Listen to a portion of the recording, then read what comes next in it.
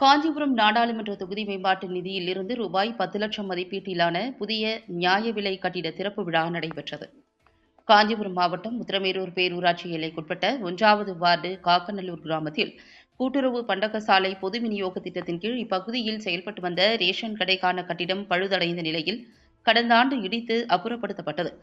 அப்பகுதி மக்களின் நீண்ட நாள் கோரிக்கையை ஏற்று காஞ்சிபுரம் நாடாளுமன்ற உறுப்பினர் தொகுதி மேம்பாட்டு நிதியின் கீழ் பத்து லட்சம் மதிப்பீட்டில் கட்டி முடிக்கப்பட்ட நியாய விலை கட்டிடத்தை திறந்து அப்பகுதி மக்கள் பயன்பாட்டிற்கு கொண்டுவரப்பட்டது உத்திரமேரூர் சட்டமன்ற உறுப்பினர் சுந்தர் எம்எல்ஏ தலைமையில் நடைபெற்ற இந்த நிகழ்வில் காஞ்சிபுரம் எம்பி செல்வம் பங்கேற்று ரேஷன் கடையை திறந்து வைத்து உணவுப் பொருட்கள் விற்பனையை துவக்கி வைத்தனர். நிகழ்வின் போது உத்திரமேரூர் ஒன்றிய செயலாளர் ஞானசேகரன் சிறப்பு நிலை பேரூராட்சி மன்ற தலைவர் சசிகுமார் வார்டு கவுன்சிலர் அறிவழகன் பேரூராட்சி அலுவலர் ஜானி உள்ளிட்ட வார்டு கவுன்சிலர்கள் உள்ளாட்சி பிரதிநிதிகள் பேரூராட்சி பணியாளர்கள் திரளானோர் பங்கேற்றனர்.